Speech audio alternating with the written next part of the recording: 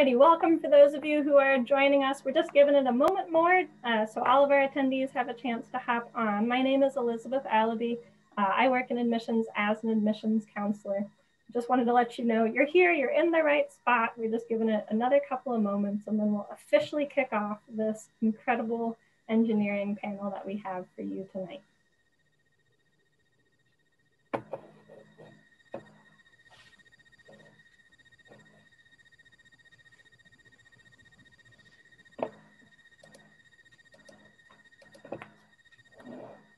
Alrighty, I say let's go for it. So with no further ado, uh, welcome to Engineering Demystified. That's what we're calling it tonight. Uh, we have this excellent selection of uh, panelists for you tonight, um, including several of our engineering faculty. Uh, just in case you missed it, my name is Elizabeth. I work in admissions and just a couple of housekeeping items. This is a webinar format, so if you are not familiar with this, our panelists cannot see you, we can't hear you, um, but the way that you should definitely take advantage of interacting with us is you can write in the chat. We'll be monitoring that. You can write in the Q&A. If you have a question for a specific professor, go ahead, throw their name in, um, and we'll make sure that while we're answering both verbally, um, that we take a moment to address your questions. The other thing I wanted to say, is since so many of you pre-registered, we have a long list of questions that you pre-submitted. We might not get to all of them, but I wanted to encourage you all to definitely use those chat functions, those Q&A functions. We put this together for you, so make sure that your questions get answered. Uh, Kate, did I forget anything? No, that's it. Um, as we said, feel free to engage in the chat and the Q&A as much as possible. You can send private messages to any one of our faculty. Um, so this is for you. I, we want you to get the most out of it. And um, please, uh, we will keep this going. Um, as long as we can. And one moment uh, before we go ahead and uh, introduce our faculty, I wanted to take a minute to get to know who's out in the audience. So I'm gonna try this. We'll see if my polls are still there. I'm gonna set out two polls just asking what year you are in school and maybe what you're interested in studying at MMA. So I've clicked launch the polling. You should be able to see it on your screen. Um, panelists, I think you can answer too if you'd like. you are more than welcome. But this is kind of nice for us just to see who's here, who's in our audience, what are you interested most in hearing about so we can make sure that we get all of that going. So I'll keep this polling going for another 10 seconds. I'll display out the results. So you also might be curious who is in our audience. Um, so it's kind of nice just to see what's going on, where we're at. So I'll give the polling just another five seconds and then I'm gonna have to end it. So be sure that you get in your answer. Let's see if I share the results. I think you can see what I can see. It looks like a large chunk of you are juniors. Good for you. You are taking this opportunity to get to know what's even out there. Seniors, don't worry. You might already be accepted or you're still considering Maine Maritime. We are still accepting applications, which Kate and I will talk about for the fall. Um, and this is actually pretty stellar. We have over 50% of you know that you're interested, at least in the marine engineering field. We'll definitely touch on what systems is, you might not know yet. Same thing with power. And I love that last answer. 43% of you answered, not sure, this is why I'm here. This is why we do nights like this. So thank you so much. Um, all right, so I say let's introduce our incredible panelists. If you would like to start, Laurel, you're kind of first on my little go around. Um, if you don't mind saying who you are, many of you are alumni, so definitely talk about that aspect. Um, how long you've worked at MMA and maybe any other you know, important work that you've done leading up to your time here as a faculty member. Uh, I'm Professor Christian. I'm a 2011 alumni. Um, I participated in the marine engineering operations program. And immediately after graduating, I worked for Hornbeck Offshore Services for um, just under five years. And then after that, I transitioned to a shoreside job at a power plant in Maine, uh, Wyman Station, and worked there for four years. And just recently, last uh, last January, um, took on a new role as a professor here um, teaching uh, engineering classes specifically in STEAM, since that's my specialty, um, coming from um, Wyman Station. And um, yeah, that's pretty much that's my story. That's awesome. Thank you so much, Professor Christian. Um, we're going to go on down to Professor Wlodkowski next. Good evening and welcome, prospective students, parents. I'm Professor Paul Wlodkowski, the chair of the Harold Alfond School of Engineering at Maine Maritime Academy. I've been teaching at MMA since 2002. Prior to that, I held a number of positions with several companies, um, in my last capacity as a as a um, principal engineer program manager for uh, a company that developed technology for the U.S. Navy.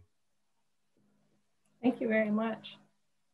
And one thing you'll notice is how vastly different our professors' experiences have been before they've either returned to Maine Maritime or chosen to come here. How about you, Professor Stewart? Uh, hi, wel welcome panelists. I'm Professor Hank Stewart.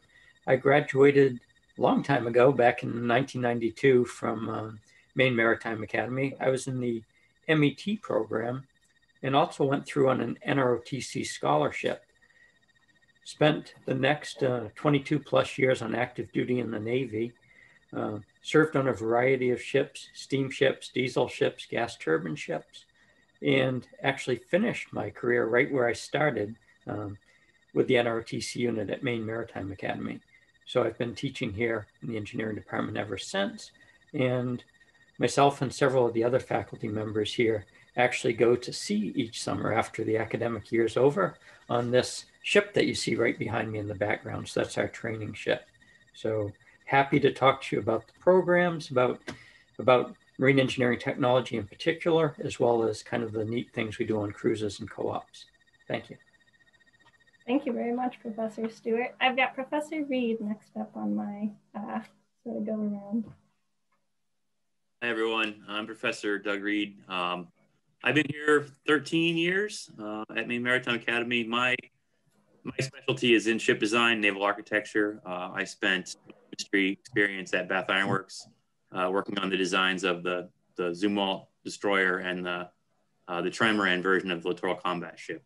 Um, one cool thing you'll notice about a lot of our instructors here is that there's an above average amount of industry experience um, on the faculty, I would say. So, so I wanted to add that. Thank you. I like that addition. Awesome. You all certainly know the things to highlight best. I've got uh, Professor Harmon next up.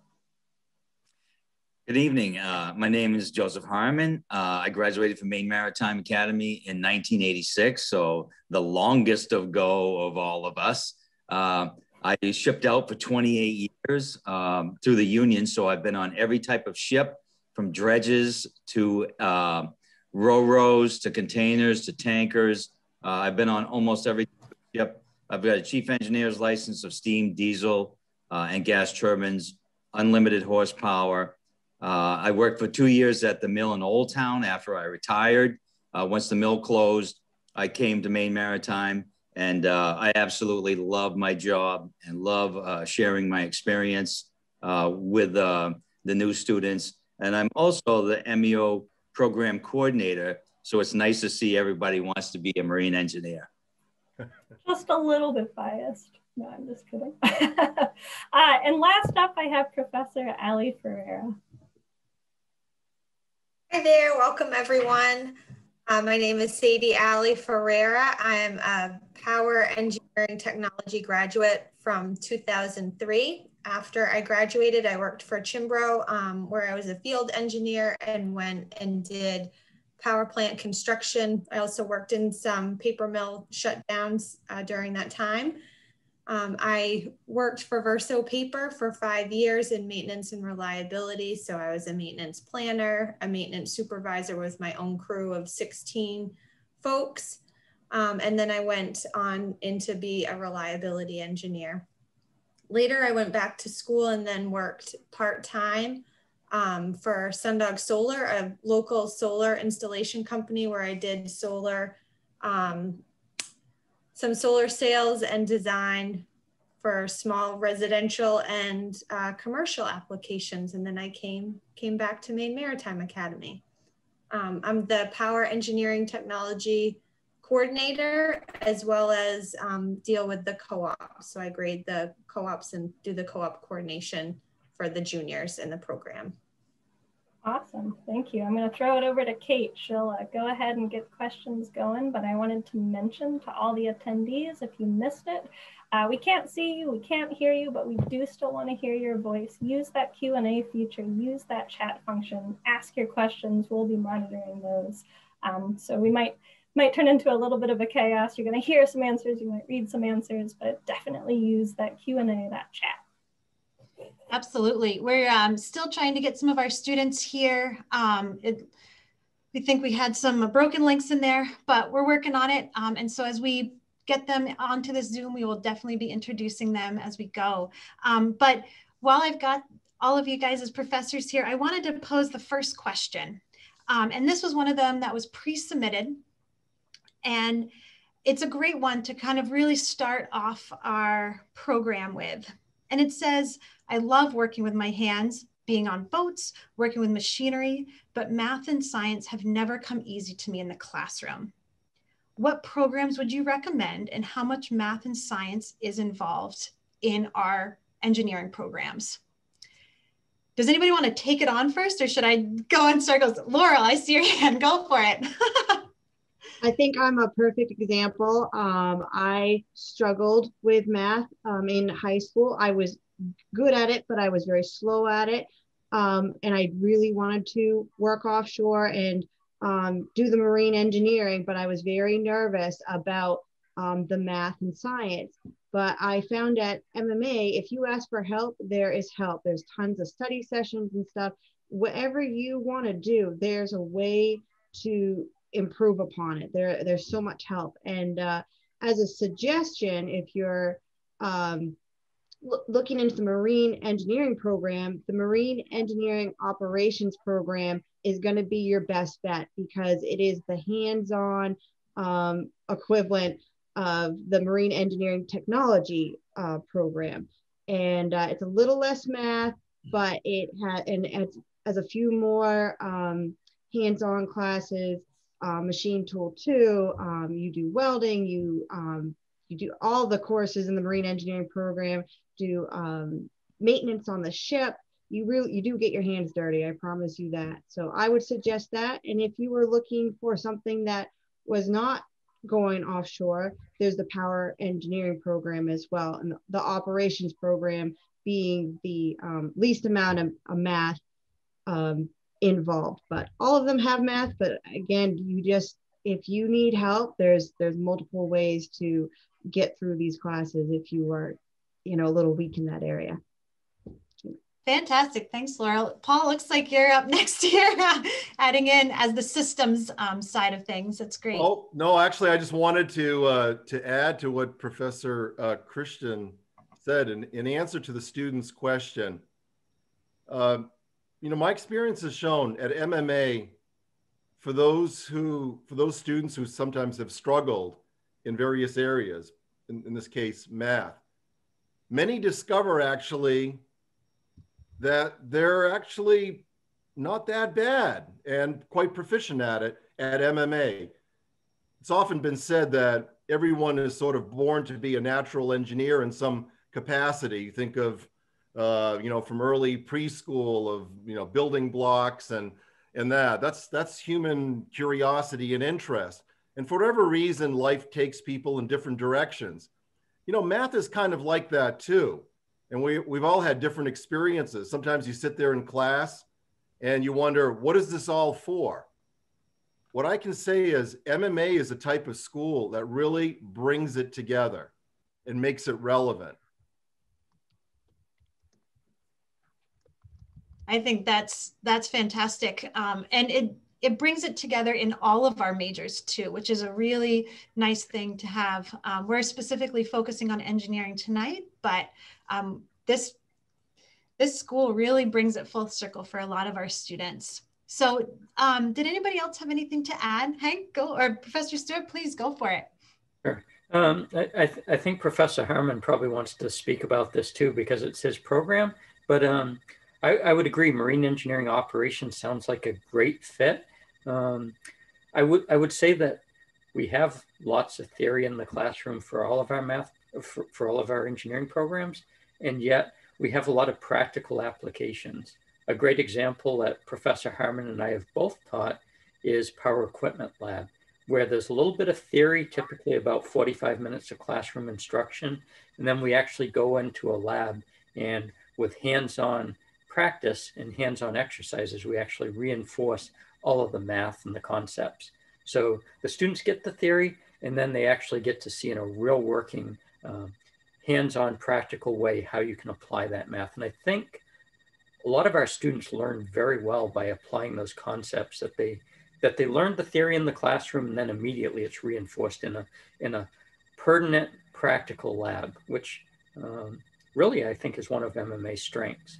I've spoken with a lot of uh, engineering and engineering technology graduates from other institutions, and they had every bit of the math and science that we have, but but they said they did not have those practical labs backing up uh, so much of the classwork, and including again, if you look behind me, you see really MMA's greatest lab, this seagoing lab that that I've been to uh, pretty cool places like Italy and Puerto Rico and Iceland and Spain and France and England um, many others just over the last few years on this ship. And I know Professor Christian and uh, Harmon have also been been on uh, lots of lots of neat and interesting places on on this floating laboratory, which is completely operated and maintained by our students under the supervision of licensed officers like Chief Harmon and, and myself. A lot of our faculty go to sea on, on the cruise. So what you're saying is our students get to see the world. They're they, very they, global. they, they, do. And, and, and honestly, you know, long ago, that's what really attracted me to MMA. I was looking at several, several schools. I had the advantage of the Navy was going to pay for wherever I went to school because I had a scholarship. So it wasn't the money, it was the, no kidding. They, they were offering the best expertise. It was pretty cool to be a 19 year old uh, student who had just finished my freshman year. And I went to uh, Leningrad, uh, which is, um, help me out, Paul. Um, current name of Leningrad? St. Petersburg. St. Petersburg now, Russia, and Copenhagen, Denmark, and Portsmouth, England. Um, that was that was phenomenal. And then went back home and got to talk to all of my um, high school friends. What did what did you do this summer? Um, well, I went to the beach down in Wells. Okay, I went to the beach in Copenhagen. And I mean, that's an experience that in addition to all of all of the good professional work you get, it was so it was so amazing to see so many places by the time you graduate. Oh, that's great story. Thank you, Professor Stewart. Professor Harmon, did you have anything that you wanted to add? Um, yeah, I think um, um, Professor Christian pretty well covered it in that uh, the MEO program is probably uh, the best bet. Uh, we, we basically have an algebra based engineering uh, curriculum there in the, in the MEO program. Uh, I myself graduated MEO um, mid 80s. Uh, my first year, I'm, I graduated in April. I made 63 my first year. I, I haven't been under 100 since. So you're going to do just fine in life with the MEO program. I've, I've worked at sea, I've worked shipyard periods. Uh, I worked for uh, MAN out of Copenhagen, Denmark for six years, uh, flying all around the world, rebuilding diesel engines. And then I made the transition to shoreside after I retired right to uh, the mill in Old Town. So you're going to be just fine in any one of our engineering programs. That's that's a great answer to it. Julia, we see you in the corner. We're going to get to you in one second as our student perspective here. Um, but I wanted to give any of our professors any last moments to talk about um, the hands-on aspect and if students are questioning their ability in math and science, is this the right program for them? Um, but if if that um, kind of wraps up that question, I'm going to turn the mic over to Julia here. She's a student in our engineering program. And if you could just say um, what you're studying, where you're from, and why you chose MMA, that would be a great introduction. Hi, um, my name is Julia Malcolm. I'm from Trenton, Maine. Um, I'm a Marine Systems Engineering five-year student. um, and I'm a sophomore right now. And I chose MMA because I had looked at so many colleges from all around the country. Um, I looked at a lot of liberal arts. I knew I wanted to do something with science, but I wasn't entirely sure. And one day, my dad said, Hey, there's a college right in your backyard. And I was like, What? Like Maine, Maine Maritime. And so I went and looked, and I was hooked the first day that I went just because I saw the ship, I saw the diesel lab, I saw every hands on um, opportunity and I I hadn't even picked up a wrench and I wanted to be an engineer. So that's kind of like before coming to MMA, I was, you know, hopeless. So I think MMA has really transformed me and I would recommend it to anybody like walking down the street. I'd recommend MMA to them. So that's great. Well, thank you for that introduction. Um, we see that there have been some questions coming in through the Q&A and the chat, which is fantastic. So we're going to be getting to those um, as much as we can. But I'm going to turn it over to Elizabeth to ask the next question to our panelist. Just really like that Julia highlighted it was such a transformative experience. Little known fun fact, we are number two most transformative college in these United States. Sorry, just I couldn't resist, it was too perfect. Um, so the question that I was gonna offer um, was, and it's kind of a biggie, so I'm just gonna dive into it because I figured we might as well deal with some kind of bigger questions uh, earlier on. So this was something pre-submitted to us by an attendee earlier. My parents think an engineering major, specifically naval architecture, isn't worth the money anymore. Is this realistic or is this worth it? I'm gonna go with Doug Reed, Professor Reed. Definitely Doug.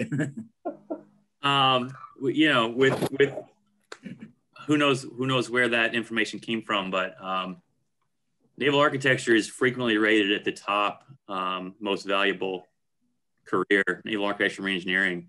Uh, very, very low unemployment rates, like 1%, something like that.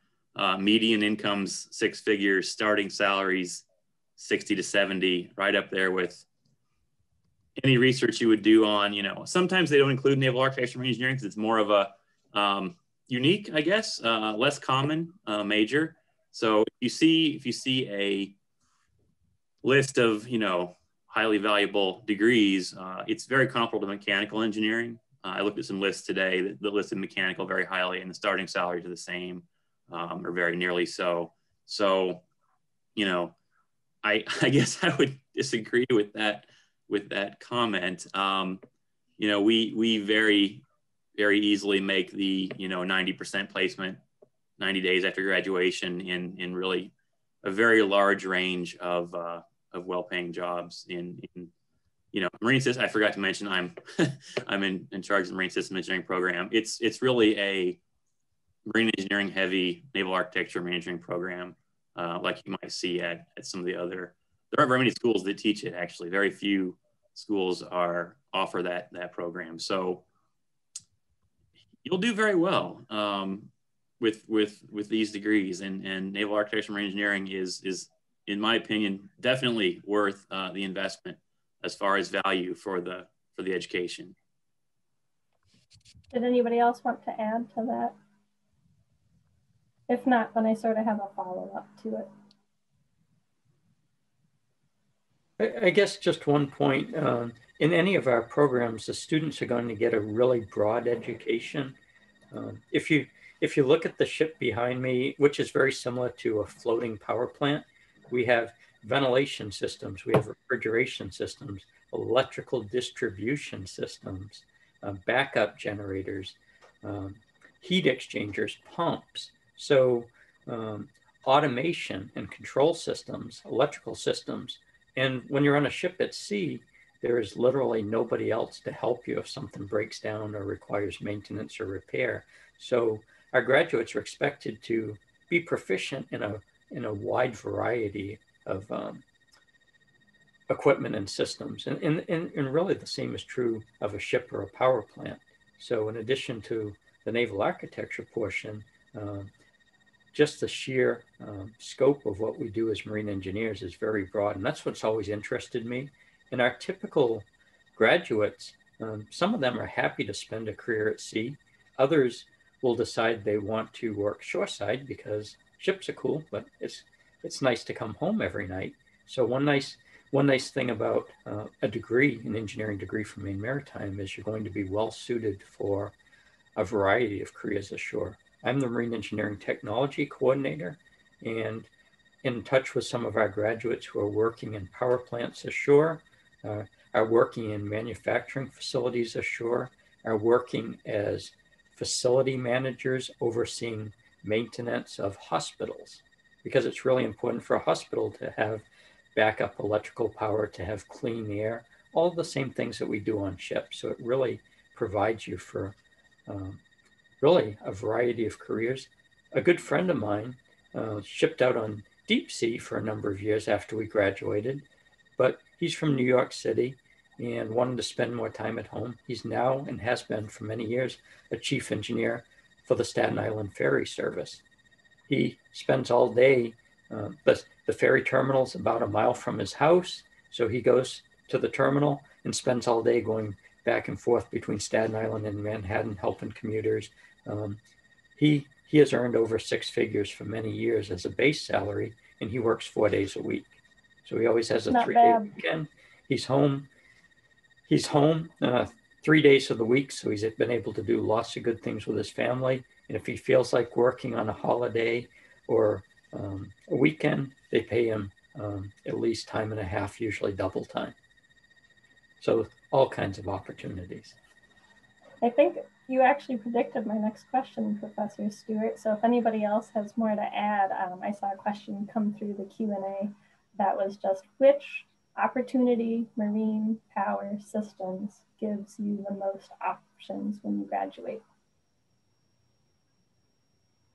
I think it's kind of tough to follow up Professor Stewart. But.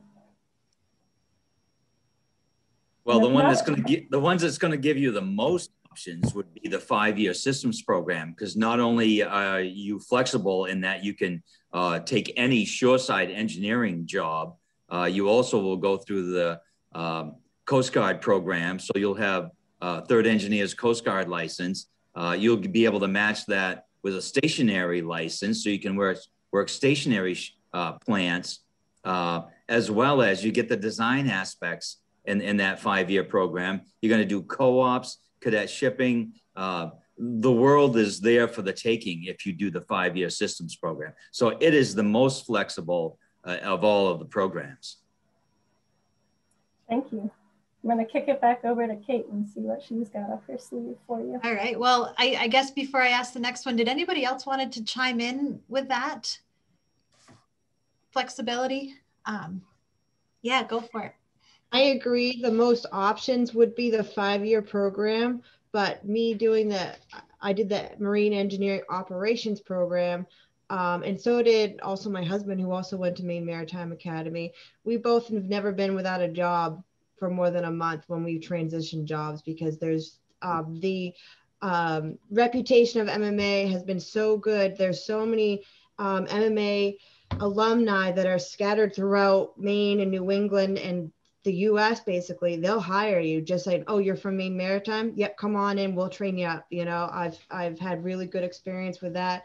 And so is my husband. And we both did the marine engineering operations program, which, you know, at first it's it it seems limited because it's it's really um a uh it's gate it's the lost for words. It's basically towards a marine life. All the programs are directed towards that.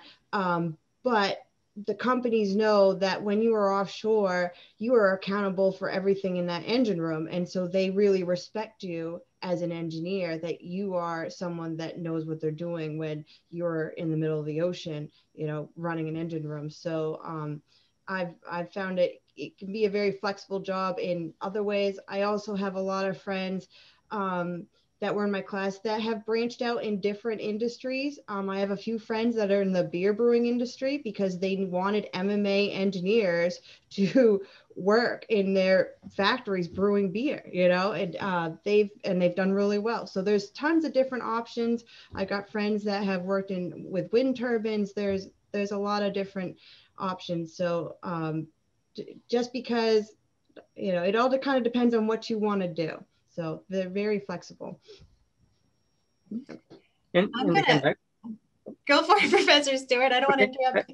I, I would say, regardless of any of our engineering programs, there's, there's lots of employment opportunities. The world in this country need engineers, and as as COVID wraps up uh, and employment goes back up, uh, it is there's going to be for many years, I think, an increasing demand for for engineers, especially with as broad an education as you get in MMA. There there is, I think, a bit of a distinction between the operations, the technology, and the systems engineering programs, and um, the technology and systems programs are ABET and accredited at, at the engineering technology and the engineering level um, which which involves more math and science, uh, abs- absolutely, and it, it offers some additional opportunities, especially if somebody is interested in perhaps becoming a, a licensed professional engineer. If if that is your goal and you're very strong in math and science, I would encourage folks to consider the five-year systems program. The technology programs uh, provide some preparation for that exam, but but not as much as the systems program. Um, also, the technology of the systems programs with the additional math and science can prepare folks if you're thinking about getting an advanced technical degree in the future. So if you if you think you might want to get a, a technical master's degree or, or a PhD and get into uh, research or, or education, you, you might find that uh, the technology or the systems programs might be a better fit. But no no graduate is going to, in my opinion, going to have trouble finding employment. Professor Ferreira, it looks like you've been patiently waiting in the car. You're on mute still. I've been patiently waiting, definitely. Um, I just wanted to be really clear because we had a lot of good discussion about how folks who get their um, third assistant engineer who ship out MET, MEO, they can get their license when they come shoreside. I just want to point out that it does not work the same way for power engineering technology or power engineering operations. You don't get to also get the license to ship out. That's um, STCW Coast Guard requirements. So I just want to point that out. If you think that you might want to ship out, you really do need to be in one of the marine um, programs. That's a great point. Thank you, Professor Ferreira, um, to make sure that that was included. Professor Wolkowski, if, and then we're going to move to the next question. sure, I'll, I'll be brief. Just kind of summarize. Oh, no, take your time. This, uh, this general question. There, there are kind of like two approaches in higher education. One is you offer variations of different programs. MMA tends to stick to a tried and true process. Some of our competitors will look at that and brand us as being too limited. But in reality, and this is what I want to tell everybody in the audience, MMA is preparing you for life. And as such, I think you're going to be hard pressed to find another institution that is going to give you that type of versatility through as you know, Professor Stewart talked about the floating laboratory, to the fact, you know, the ocean itself still largely unexplored, and all of the technologies that are still going to spring from from that medium.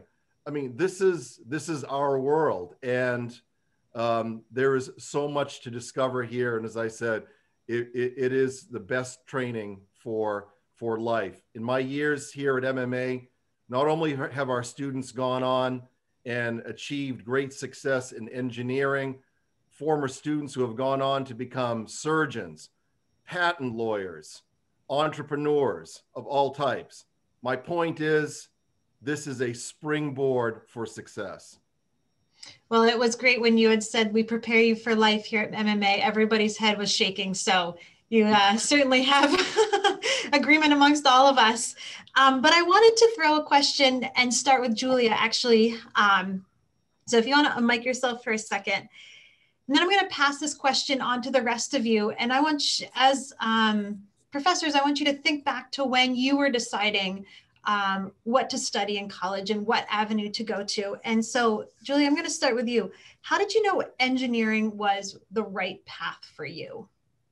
Um, I always knew that I liked math and science, and um, it was kind of hard thinking about which college to go to because I do know that a lot of other colleges aren't so technical. Um, and I think it was important to me that if I become an engineer, I also know what it's like to be in the industry. Because if I'm making decisions for other engineers and I've never been in the industry, I feel like that's not a great thing. So I I knew that I wanted to be an engineer because I was really interested in um, like math and physics and things like that. But you don't have to be interested in math and physics to be an engineer. It's just what I liked about engineering. Yeah, fantastic. Thank you for that. Um, would any of you guys want to jump in about go for it, Professor Stewart, in terms of what I see your hand, Professor Ferrer, too. Um, so, so, so I think what always interested me is in the in the final analysis, engineers are really problem solvers. So all of your engineering training thinks teaches you how to think critically through a problem. And whether you want to work on a ship or a power plant or in manufacturing or or pursue many other careers, that ability to kind of look at facts and logically and critically think through a problem holds people in really good stead. And, and I think that's kind of what Dr. Vukovsky was getting at with the basis of a, of a good broad education. Uh, that, that really sets you up for if you decide to do something entirely different later in, later in life. Great. Well, thank you. Um, Professor Ferreira, why don't you take it here? So I'm going to take you on a little roundabout story because um, that's the best way I think to tell what made me decide to become um, a power engineer. When I was in uh, high school, I wrote a scholarship application to international paper because I wanted to uh, save the environment. That was my big thing. And my dad said, You're never going to get that scholarship uh, because paper companies don't really care about you saving the environment. Um, I didn't get the scholarship, didn't get it.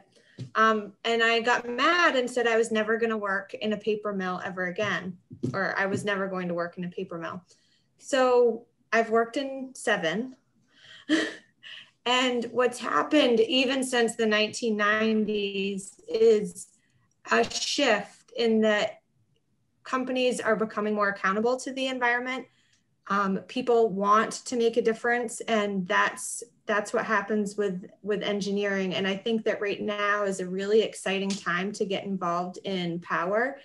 Um, if you pay attention to the news, what happened in Texas with the grid, you know, those are really interesting problems that we really do need to solve. And with renewables coming online, with us trying to decarbonize. There are so many things that students can get involved with to feel good about um, doing, you know, positive things for our environment, as well as being problem solvers, as well as, um, you know, doing design engineering, lots of lots of different avenues to take. So for me, to kind of go around about this story again, um, I was very interested in making a difference, and I think engineers can do that. So that's that's what made me decide to be an engineer. That's a great story. I hadn't heard that one. So thank you for sharing. Um, Professor Christian, I've been see your hands up. So I'm gonna move to you next. um, so when I came to Maine Maritime Academy, I was actually working on lobster boats uh, during my summers. And so I thought I wanted to do the marine transportation program. And luckily, after a year of at Maine Maritime Academy, I realized that, oh no, oh no, I want to be in the engine room. I had no desire to be um, up on the bridge. And you get a taste of both sides a little bit when you go on cruise.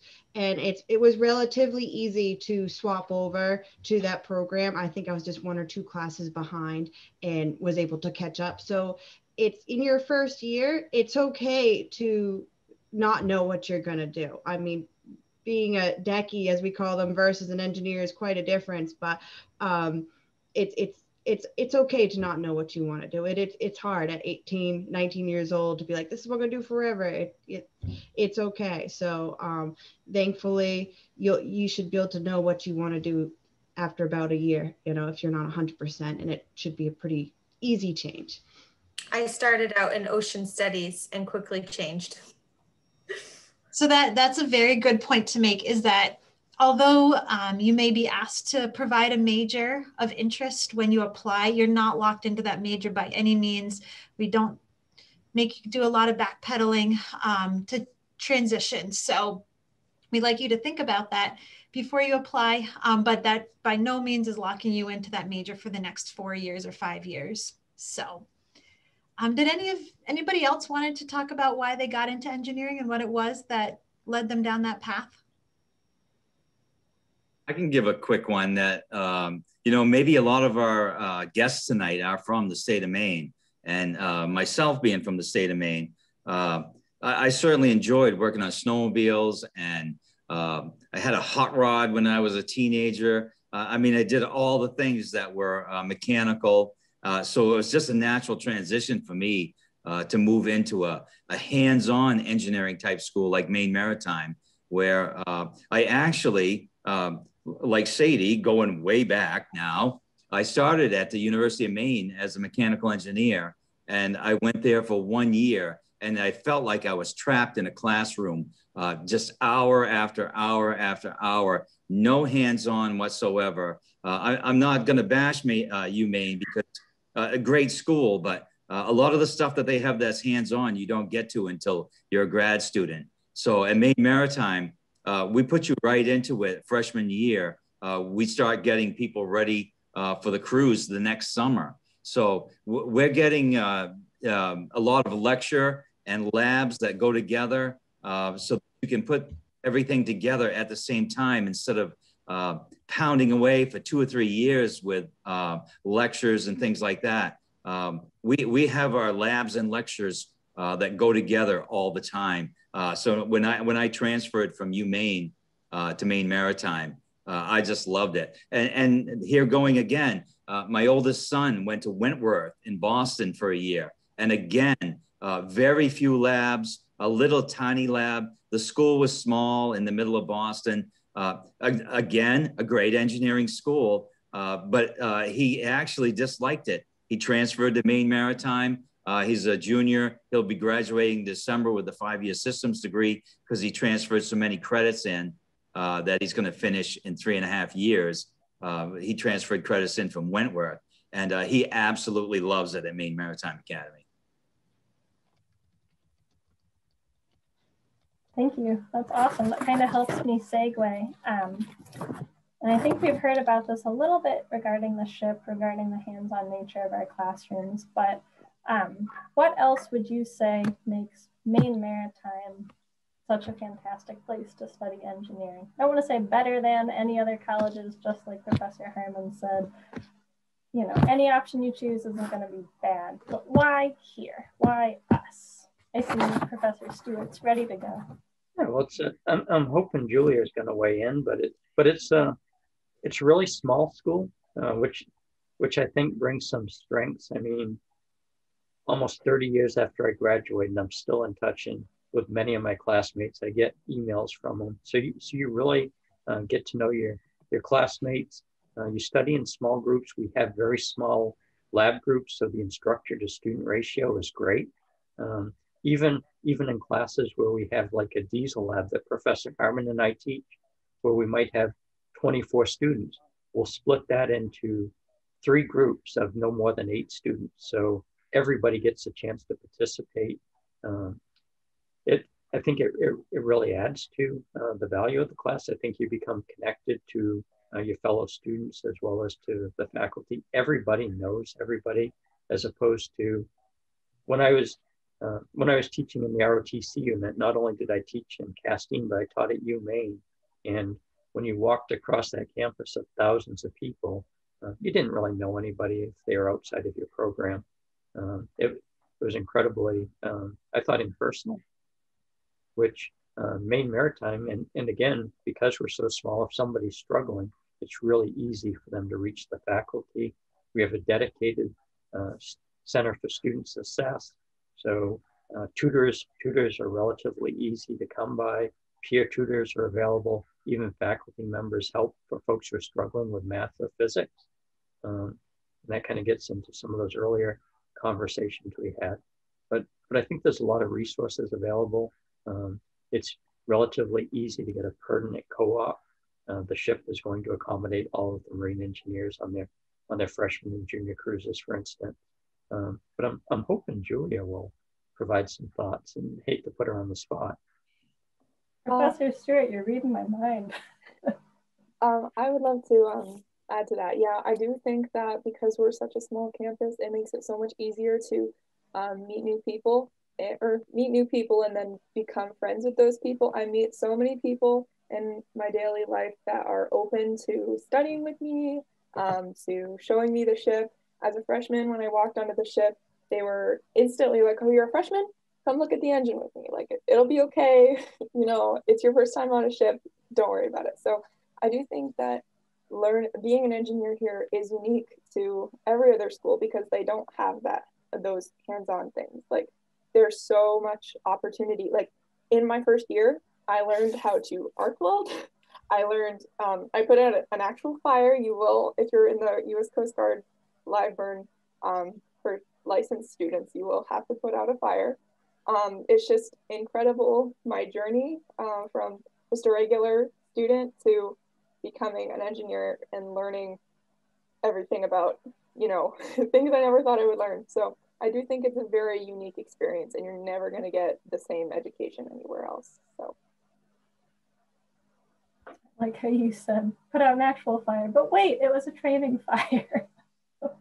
this is where I say a lot of our students also are part of the Castine, the town that Maine is located in, the Castine Fire Department. So they're definitely putting those skills they're learning to class to good use for our community, which we are very appreciative of. Um, did anybody else want to add? Go for it, Professor Ali Ferreira. Thank you.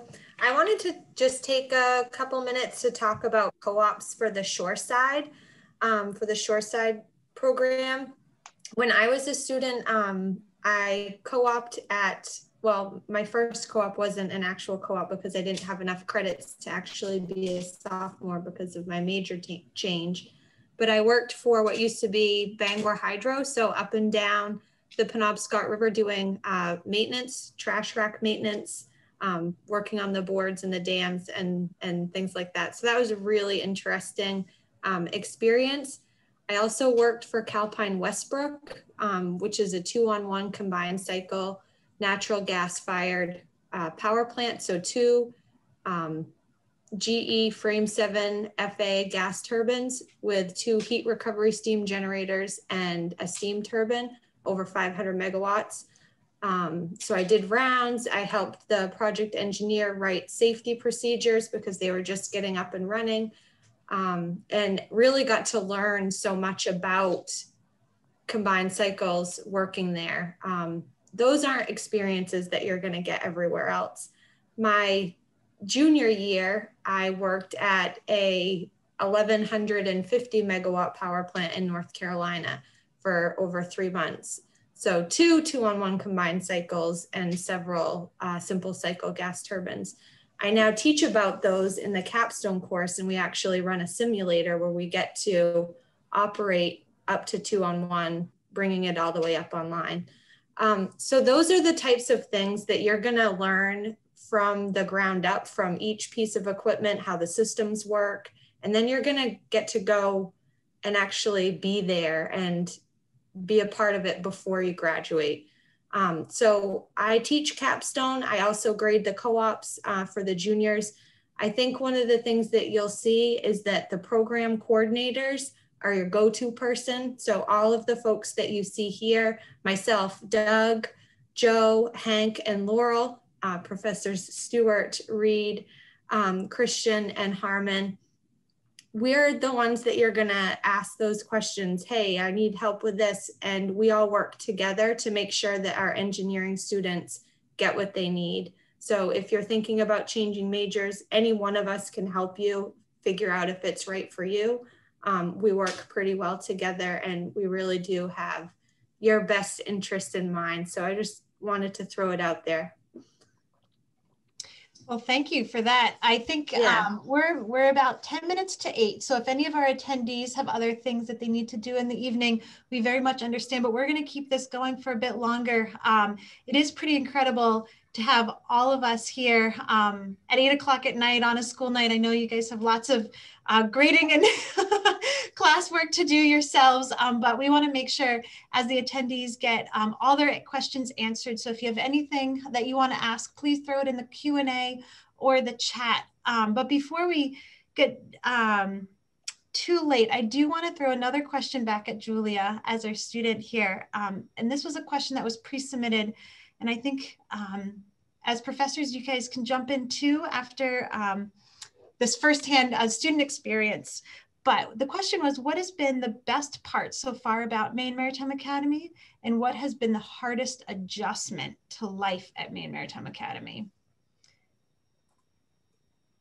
Um, I think um, the the best thing that has happened to me is definitely my transformation as a person. I think I've made more friends than I ever have in my life, and that's kind of crazy. I mean, things like the regiment and the Coast Guard classes and everything that you think is hard at the moment, you realize, wow, I just made so many friends and I just learned so much. And when you go to actually, you know, complete a task or you like are looking at your previous assignments, you're like, wow, like I have grown so much like from these experiences. And obviously some of the hardest parts were, you know, walking in and realizing, you know, you have to wear a uniform and all that stuff. But it's it's so it's actually a really amazing experience because all of you grow so close because of those hard experiences. So if you're afraid to join Maine Maritime or you know you're afraid to join the reg or something like that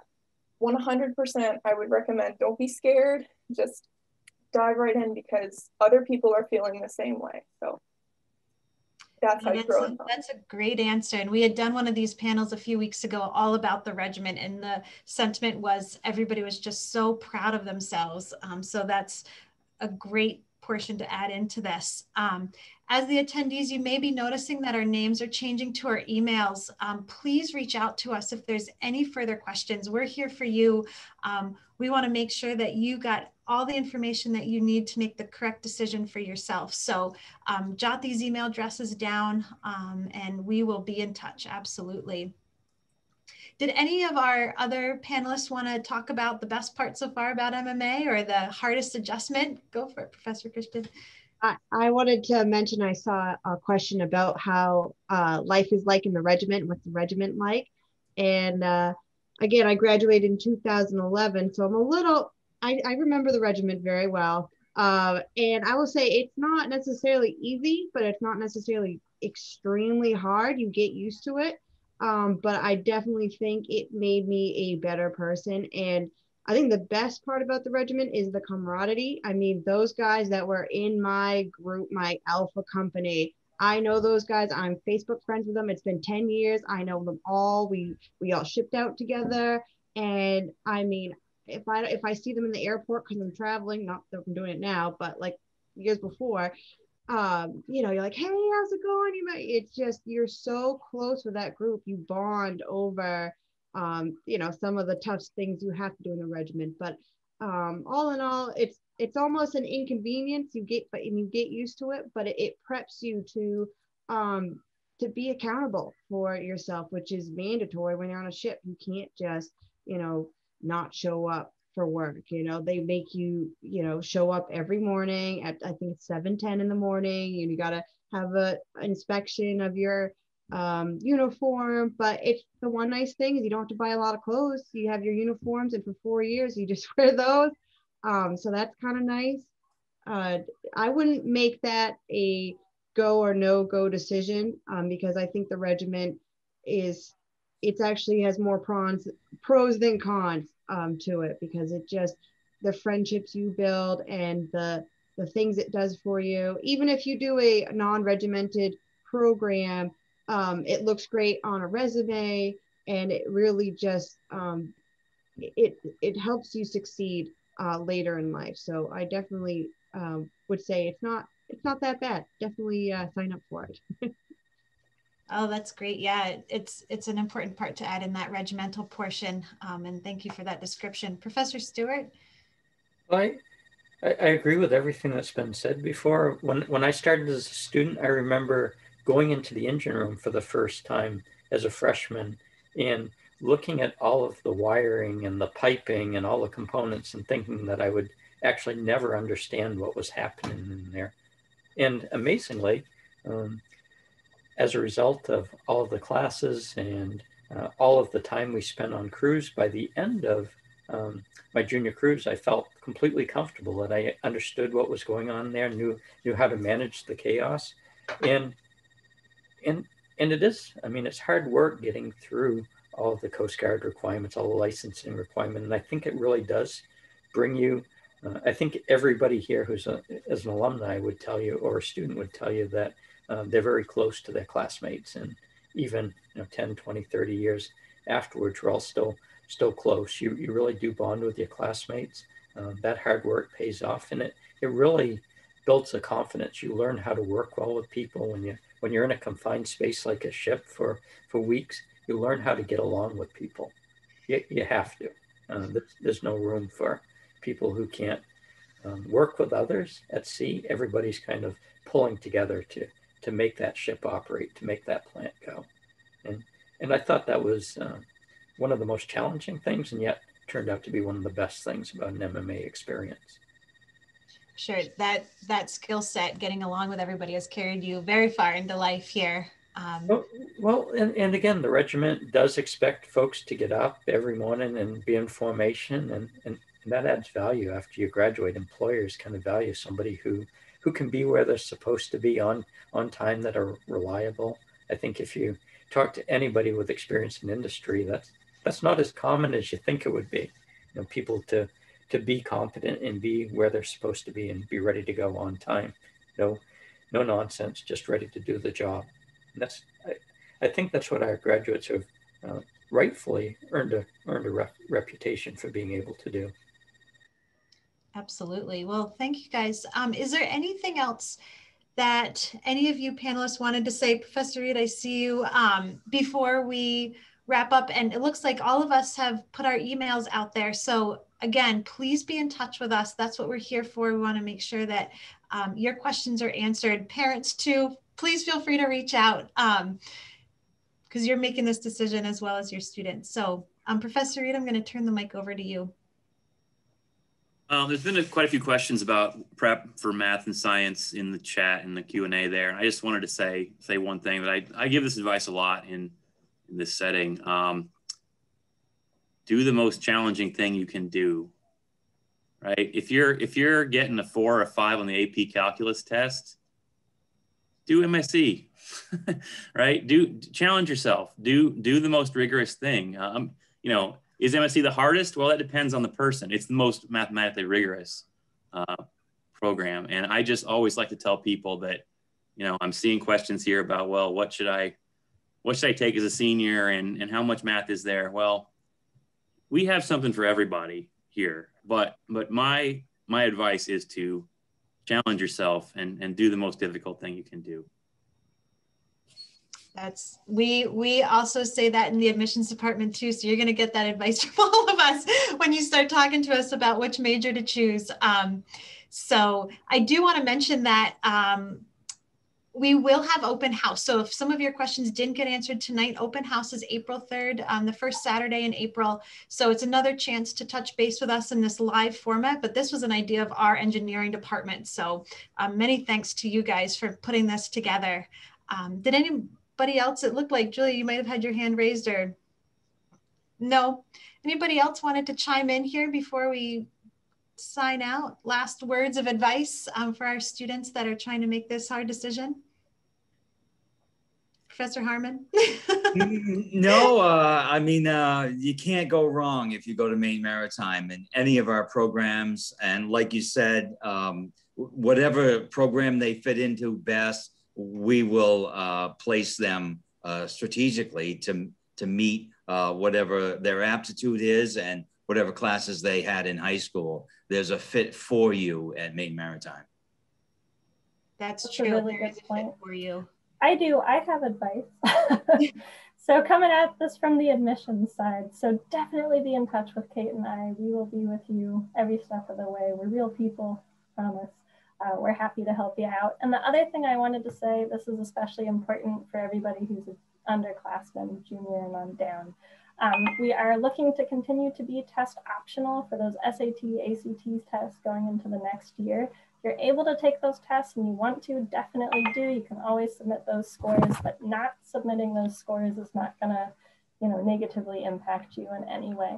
Um, the other thing I was going to say is be in touch with Kate and I. We are excellent points of contact. And if you're like, oh, there was that one really great systems engineer, uh, help me figure out which one, you know, we'll, we'll make sure that we get you to the right person.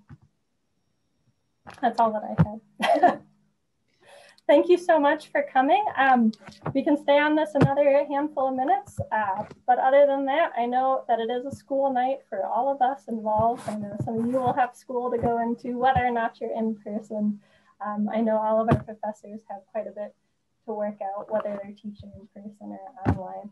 Um, for the most part, I think you all are pretty in person. But, Well, well, thank you guys all. And have a good night. awesome. And we'll talk soon. See you. Good night.